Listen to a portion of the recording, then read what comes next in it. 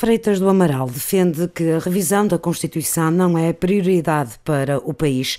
O professor de Direito, que foi deputado da Assembleia Constituinte, esteve em Famalicão, onde proferiu uma conferência sobre o 40 aniversário da Constituição da República Portuguesa. Questionado pelos jornalistas sobre se a lei fundamental necessita de revisão, Freitas do Amaral foi perentório. Eu entendo que isso não é prioritário.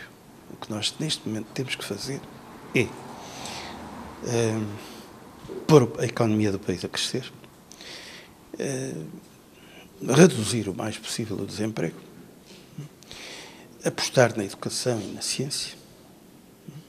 E convencer Bruxelas que não pode continuar a querer mandar em nós. Nós somos um país independente, entramos com muito gosto e estamos com muito gosto na União Europeia, mas não é para nos mandarem a nós, é para nós, em conjunto com os outros, decidirmos coisas boas para a Europa toda.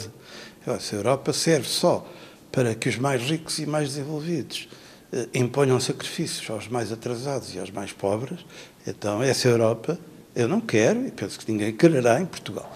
Portanto, nós temos que ser eh, mais afirmativos, temos que ser mais patriotas, no verdadeiro sentido da palavra. E, for preciso, falar grosso aos funcionários de Bruxelas. A Constituição de 1976 foi redigida pela Assembleia Constituinte, eleita na sequência das primeiras eleições legislativas realizadas em Portugal no período democrático. Foi a 2 de abril de 1976 que os deputados terminaram a elaboração do texto e o sujeitaram à aprovação. Ao lembrarmos a data em que a Constituição foi aprovada, fez ontem 40 anos, nós não estamos só a lembrar o dia em que Portugal passou a ter uma Constituição. Nós estamos a lembrar também o que foi preciso lutar para que tivéssemos a Constituição hum? e como ela se foi adaptando ao longo do tempo, é outro aspecto muito importante, à evolução das mentalidades e das circunstâncias. Hum? Era uma Constituição muito à esquerda, depois, com a revisão constitucional de 82, acabou o Conselho da Revolução, com a de 89, passou-se a admitir privatizações e, portanto, uma forma de reequilibrar o setor público com o setor privado.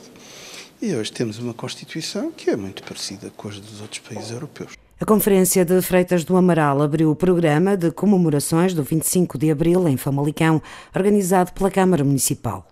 O que aconteceu há 40 anos foi muito importante para Portugal, eh, foi de certa forma Uh, o concluir de um processo que se iniciou após o princípio de 64 de solidificação das instituições portuguesas. A Constituição da República Portuguesa é fundamental para o nosso aprofundamento democrático e Famalicão, uh, sabendo da, importância que quer continuar a ter no contexto internacional, não poderia deixar de debater este tema e trazer para Famalicão um dos autores, um dos participantes, uma das personalidades que mais influenciou um período histórico muito marcante para Portugal. A conferência contou ainda com a presença do historiador famalicense Artur Sada Costa, que fez a apresentação do